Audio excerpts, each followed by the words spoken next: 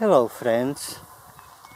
Today I would like to show you the result of experiment I did with eight of my plants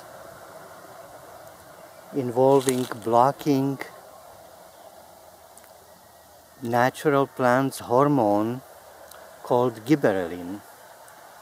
I might be using these technical terms incorrectly, pronouncing them incorrectly, but I will post the correct spelling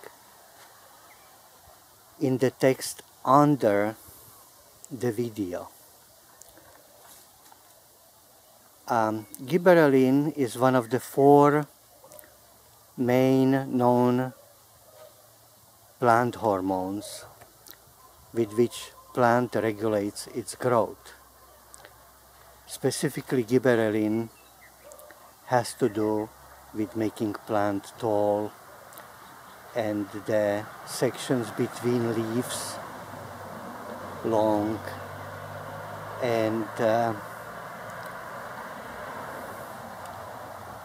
fruiting, flowering, not too big.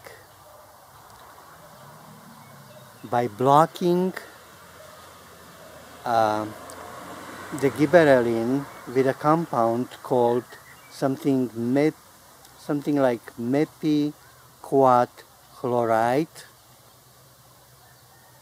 I was hoping for dwarfing the plant and or increasing the yield. The compound I used is used commercially um, in growing cotton where it lowers the growth of plant, size of leaves, and increases the yield of cotton. I use this compound not because it's the only one known blocker of gibberellin. There is about 12 of them and uh, known and I will uh, type them under the video for you. Uh, I use the one I used because it's easy to use, it's readily soluble in water and I uh, used about third of a teaspoon per cup of water and apply it folially.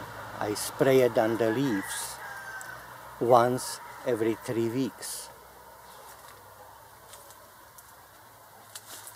I chose eight plants, four desert roses, each different species or cultivar, and four ficuses, each again different species or cultivar. And in each case, the three plants showed very small result and one showed huge difference to the many untreated plants I have. So let me just quickly get there and I'll show you the result of the foliar application after several months of treatment. First I want to show you the best responding adenium. It's the cultivar is called Mini and it's the one with a reddish flowers when mature, except I use it on uh, immature plants. Here it is, next to its untreated siblings. And as you can see, the treated plant is way smaller than the untreated plants. And the leaves also, the size of the leaves. Here, the untreated plant has a over 3 centimeters length, typical leaf, and a treated plant has over 1 centimeter length. And now I want to show you a mature plant of ficus that responded best to the treatment.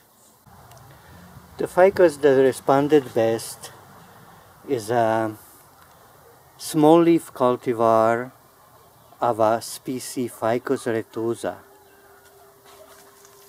It rarely blooms and if then very sparingly when grown in a pot. But this plant, as you can see, is loaded with berries up and down the trunk. Amazing. And so,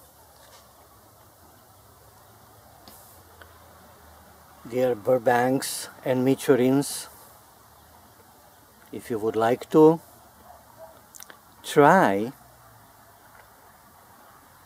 this kind of experiment I wholeheartedly recommend it to you and once you get some results I would love to know you can type them in a comment section under the video.